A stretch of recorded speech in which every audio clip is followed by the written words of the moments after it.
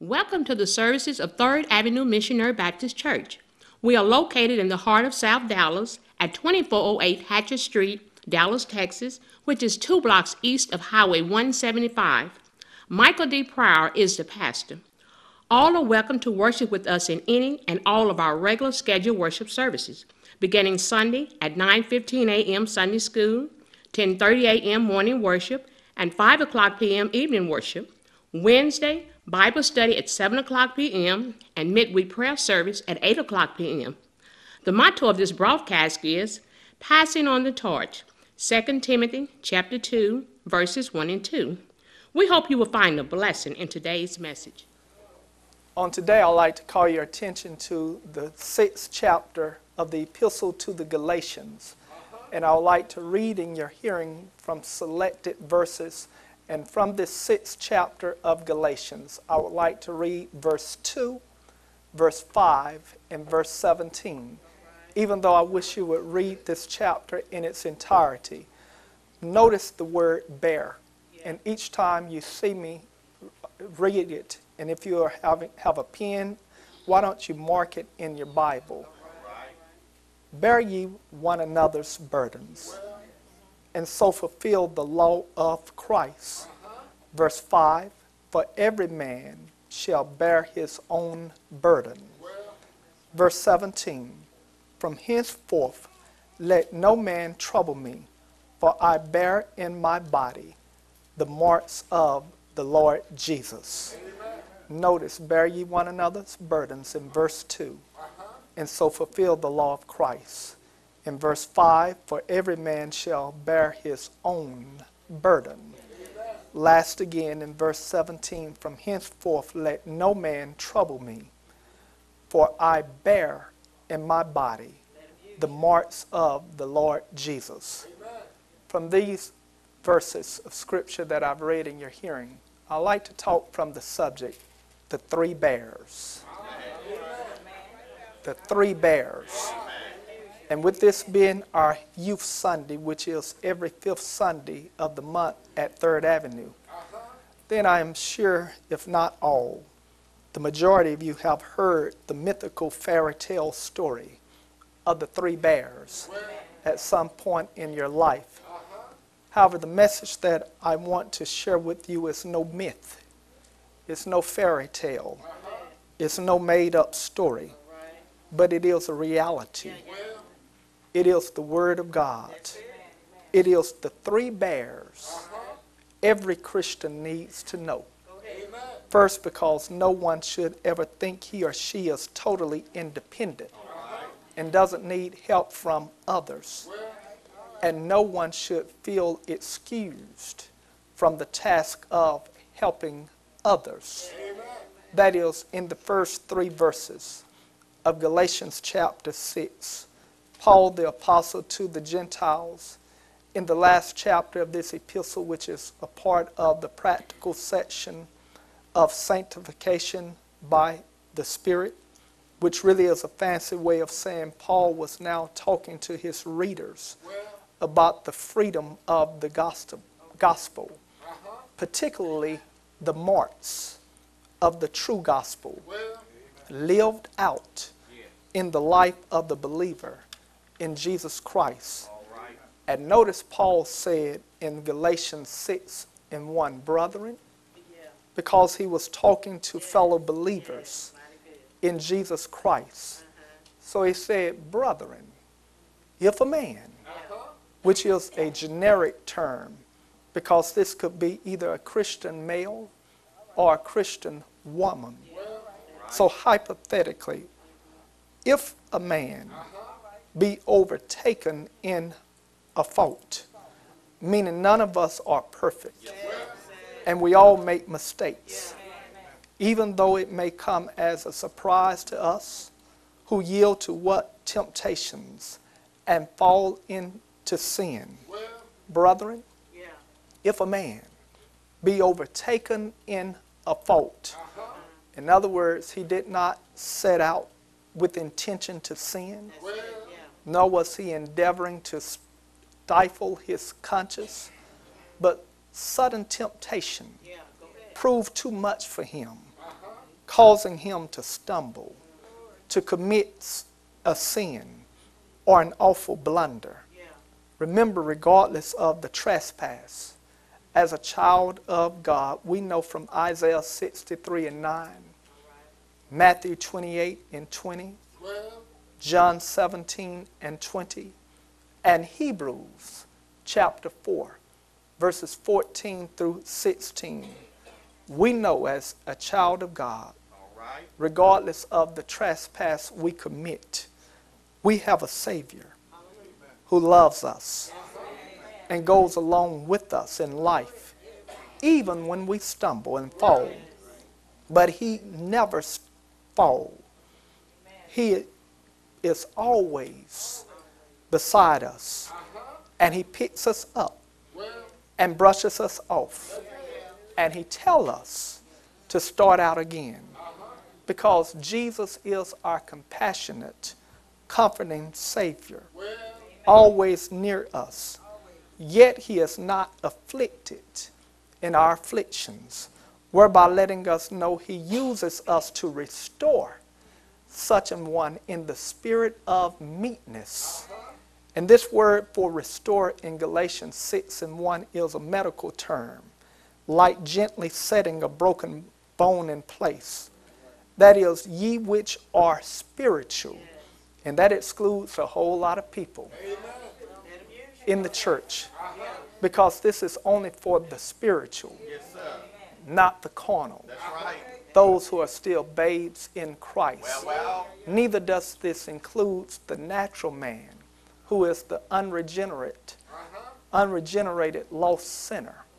But ye which are spiritual, when a believer devastated by sin has been caught off guard, perhaps at a vulnerable point, he or she needs to be approached with gentleness by fellow believers who are controlled by the Holy Spirit and not comparing themselves to the fallen believer.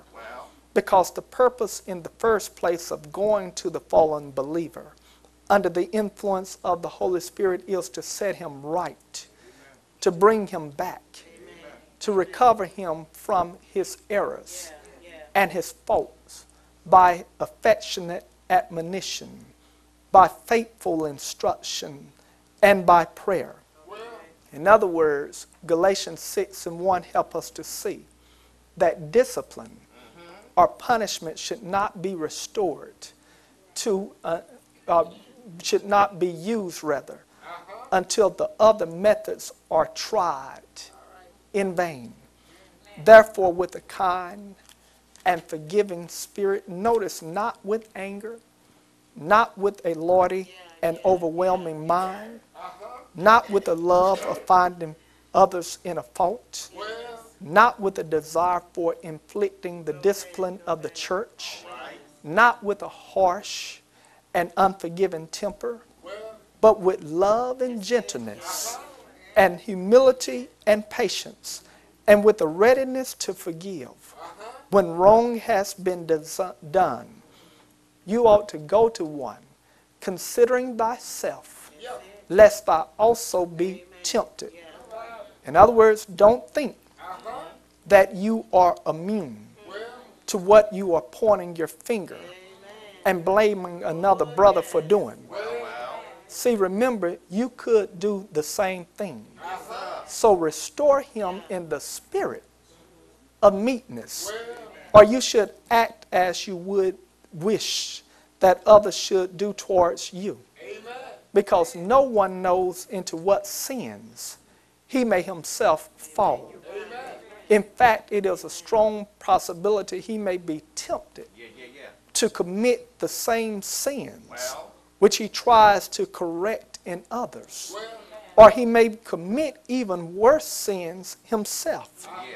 That's why the person seeking to restore such an one in the spirit of meekness should be tender while remaining firm in beliefs and forgiven while, set, while we set our faces against evil and prayerful while we are compelled by the Holy Spirit to inflict on others the discipline of the church. In other words, this is what you call the liberty of love. Because love thinks of others when we pray. And love thinks of others when we seek to edify. Uh-huh. Love thinks of others when we show kindness and hospitality uh-huh. and when we give honor to others. And notice in the first of the three bears, Paul said in verse 2 of Galatians 6 Bear ye uh-huh. one another's burdens, and so fulfill the law of Christ. That is, the spirit filled Christian thinks of others and how he can minister to them. But the legalist, on the other hand, is not interested in bearing burdens. In other words, the excess burdens which we need to share with one another. Instead, the legalist adds to the burdens of others. All you have to do is read Acts chapter 15 and verse 10, and you'll understand what I'm speaking of. In fact, the legalists believe Christians are those who live by a long list of don'ts and do's because the legalist thinks that God's favor is earned by good behavior. So their chief concern is that you would recognize real change brought about by God should lead to changes in the behavior uh-huh. of man, which may, to many, the legalist beliefs sound good. However, there is a danger in it because their belief tend to make God's love something to earn rather than to accept freely. And their teaching reduces Christianity to a set of rules and transfer the gospel into bad news instead of the good news that it really is. Therefore, as important as change in action is, it is much more important to see that God may be designing different changes in you than in others. Wherefore, listen to what Paul had to say about bearing burdens in verse 2. Because nothing reveals the wickedness of legalism better than the way the legalists treat those who have sinned. Uh-huh. Such as in John chapter 8, when the Pharisees dragged in a woman caught in the act of adultery before Jesus and wanted him to condemn her for her sin. Uh-huh. Even though the Pharisees didn't have all of the facts, but based on their suspicions uh-huh. and self righteous indignations and imaginations, they dealt with her merciless. However, Jesus, although he could have condemned her and upheld the legal penalty of the law concerning adultery by stoning her to death, he highlighted the importance of compassion and forgiveness and stooped down with his finger and wrote on the ground. And when he lifted up himself, he said to her accusers, He that is without sin among you, let him first cast a stone at her, and thereby convicted them by their own conscience, because they were equally guilty of sin. But Jesus, the sinless Savior, said unto her, Woman, where are those thine accusers? Hath no man condemned thee? She said, No man, Lord. And Jesus said unto her, Neither do I condemn thee. Go and sin no more. Because he stands ready to forgive any sin in your life, which should help you understand this message about the three bears, which is taken from Galatians chapter 6, verse 2, verse 5, and 17. In other words, the first bear in verse 2, we bear is sharing one another's burdens. Because being Christ like, the spiritual man mentioned in verse one uh-huh. would seek to restore the brother uh-huh. in love. But the legalist, as in the case of John chapter 8, would seek to exploit the brother. Uh-huh. However, the Christian who is led by the Holy Spirit and living in the liberty of grace will seek to help the erring brother. Because the first byproduct of the fruit of the Spirit is love. That's why in Galatians 5 and 13, Paul said, by love, serve one another. Because love is fulfilling of the law. And love, according to Peter, cover a multitude of sins. But in contrast, the legalist rejoices when a brother falls uh-huh. and often gives the matter wide publicity uh-huh. because then he can boast about his own goodness uh-huh. and how much better his group is than the group to which the fallen brother belongs because he is full of vain glory which we shouldn't desire. And he cares not about his negative provoking one another in order to secure his own honor and win a popularity contest with the world. Because according to Galatians 5 and 26, the legalist is too full of envy for it to matter, rather than looking to God for his approval. But on the other hand, notice the spirit led believer has an altogether different attitude than the legalist because he lives by the law of Christ and apply it to his life every day in tender love and care. Meaning the legalist has an attitude of pride and condemnation, and neither does he consider himself, but he pretends, I will never do such a sinful thing, without realizing that no man is immune from falling. Because in 1 Corinthians 10 and 12, the Bible says, Let him that thinketh he standeth take heed lest he fall. Therefore, in humility, the Spirit led saint realized his own weaknesses and lovingly as well as courageously he approached an erring brother seeking to help him because he know there are burdens that we can share and there are also burdens that we can bear. Since every man has his own peculiar temptations and easily besetting sins that may be a heavy burden that he alone must bear. However there are some burdens we can aid one another in such as the burden known as grief, the burden of tragedy, the burden of sorrow, and the burden of disappointment, which is an inevitable burden we all must experience in the human family. I say that because one day grief will come to your house if you continue to live, especially if it has not already come. It might just be your shared burden to weep with those who weep and rejoice with those who rejoice. Because we come into this world with a cry and we need comfort from the first breath we take and all through life. We need comfort too because we have a constant foe Satan, the prince of the power of the air, who has the capacity to transform himself into an angel of light and who is aided by many fallen demons who can appear as ministers of righteousness. That is for a while. They too can show an interest and courteous concern for those under a heavy load. However, their false pretense won't last because what is missing in their heart is the law of love.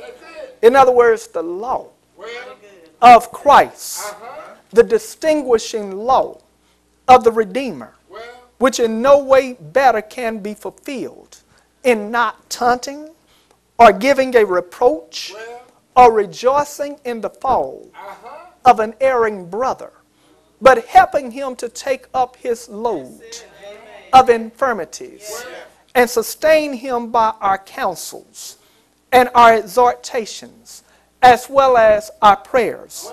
See, this is how the church functions best. When a brother or sister in Christ needs correction or encouragement. Uh-huh. Unlike the legalists, according to verses 3 and 4, who loves to make himself look better by making his brother look worse. In other words, in Galatians chapter 6, remember I told you I really wish you would read the whole chapter. But for time's sake, I'm just dealing with selected verses in this topical message about the three bears.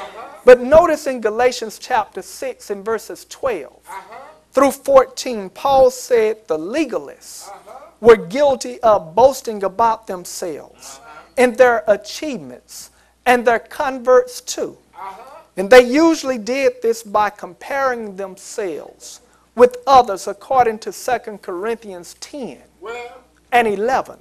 But such comparisons are sinful uh-huh. and deceptive because it's easy to find people worse off than you. And then think of yourself to be something, uh-huh. even to the point you are confident in your abilities, that you don't think you are subject to fall, uh-huh. but feel safe and secure, even though you are living wholly in sin. In other words, you walk around talking about, I'm not like that drunk, ah. but you lie. Uh-huh. You go around talking about, I don't pimp, I don't prostitute, but you use drugs. You talk about where I don't do anything illegal, uh-huh. but you're lazy uh-huh. and won't get up and go look for a job, but sit around and overeat and do everything else, such as gossip and always stirring up mess. Paul labeled such men as being deceived, although they have the highest estimate of themselves, because they may fall into sin and have need of all the sympathy and kindness of their brethren. But he think himself to be something when he is nothing. In other words, he has no strength and no moral worth. And he is not all he apprehends himself to be, but he is lifted up with vain self conceit and understand not his own character. Wherefore, let every man prove his own work. This is by divine inspiration. Let every man prove his own work. Because we're not to run around getting everybody to carry our burdens. And that tells me you need to quit running around looking for a handout. Every time you get yourself in trouble. Every time you need someone to pay your bills. You need to realize that you wouldn't have made that bill. And now you got the telephone bill. Your number one don't need all the stuff you have on the phone. And it just amazes me how people go back and forth to court. Uh-huh. Back and forth, get their credit all messed up on a cell phone bill of all things. Uh-huh. You need to get you some Metro PC. We get whatever you need to get.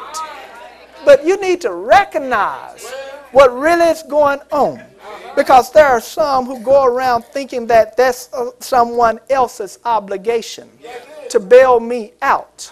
You made the bill? Pay it. I know there are shared burdens. There are sometimes when sickness, there are some sometimes when downsizing on the job, there are sometimes when you have to relocate yourself, that there may be times for assistance. But when you let your greed, when you allow your desire to have more than you can afford to take over and you don't live within your budget, quit looking for someone to carry your burden. But we ought to do as do what but what we should do rather is compare ourselves with the word of God. Because anyone who concludes that he is something special through short sighted self comparison with those who seem to have fallen, truly according to the scriptures, deceives himself. So instead of examining and judging others, a Christian should always examine his own work to see if he is closely following Christ's example.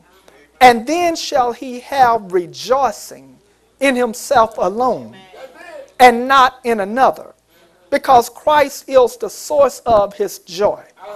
Christ is the litmus test to compare ourselves to, uh-huh. rather than comparing ourselves to one, anyone else. Let Jesus be the measuring stick, because there is no place for competition in the work of God unless we are competing against sin uh-huh. and Satan. And perhaps these words will help someone. Uh-huh. If you like words like best, if you like words like fastest growing, uh-huh. if you like words like biggest, or words like finest uh-huh. to define the ministries of your church. Because we're not in any competition, uh-huh. and neither should there be any questions about who is getting the glory, nor should these words deny you of the right to keep an accurate account. Because most people who are critical of keeping a record, they have no rep- record to report. That's why, in describing the first of three bears, in verse 2 of Galatians 6, which are burdens shared. Now, notice in verse 5, Paul gave the second bear our own heavy load that we must bear. Notice that. The second bear is the, our own heavy burden that we must bear. Because Paul said, For every man shall bear his own burden. Just as an expected mother must bear in her womb uh-huh. her unborn child, uh-huh.